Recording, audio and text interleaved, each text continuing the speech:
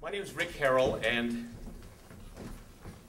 this presentation today is The Soldier's Journey. I'm the director of Heroes Voices, and this is the culminating event of our National Veterans Poetry Contest. When Mr. Ferlinghetti was asked which of his poems he would like included in today's performance of The Soldier's Journey, he suggested this one, The Sea. The sea, through the trees, distant, shining, the dark foreground, a stone wall with lichen. An old salt sits staring out to sea. A wind sways the palms infrequently. Another day prepares for heat and silence. A small plane buzzing like a fly disturbs the sky. The air eats it.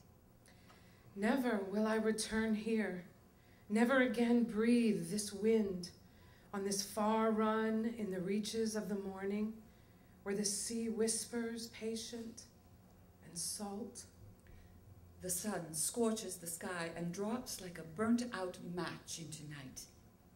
And I am still an animal, perhaps once a bird, a halcyon, who makes its nest at sea on my little flight across the little chart of my existence.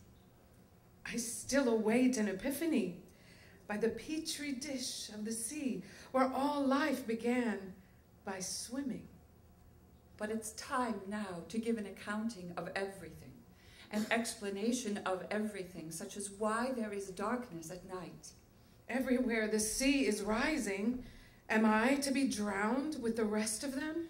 Pardon my conduct, then, if I cannot give you a final word, a final unified theory of existence, all thought subsumed in one great thought. Utopian vision.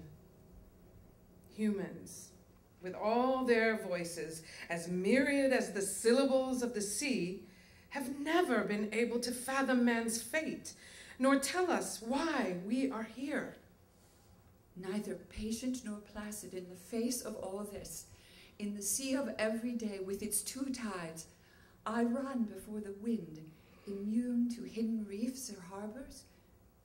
Someone throws me crystal fruits in the shape of life preservers. Others wave from distant strands. Goodbye. Goodbye. Shipwrecked ashore at the mercy of avaricious gulls, and yet, and yet we are still not born for despair. Spring comes anyway. Is there anything more to be said before they carry us off as dead? While we're still dreaming, still in search of the bread of the word cast upon the waters? The dough that rises in the yeast of speech, in the written word, in poetry. Between two waves, the ocean is still. A silence of ages lasting but a moment. The sea roars, but says no more. Oh, the yarns it could spin, if it would, between its rages, under the eye of the sun, under the ear of the sky. Oh, endless, inchoate, incoherent narrative. Voyager, press on. We are not our fathers, Yet we carry on, breathing like them, loving and killing like them. Away then, away in our tall ships.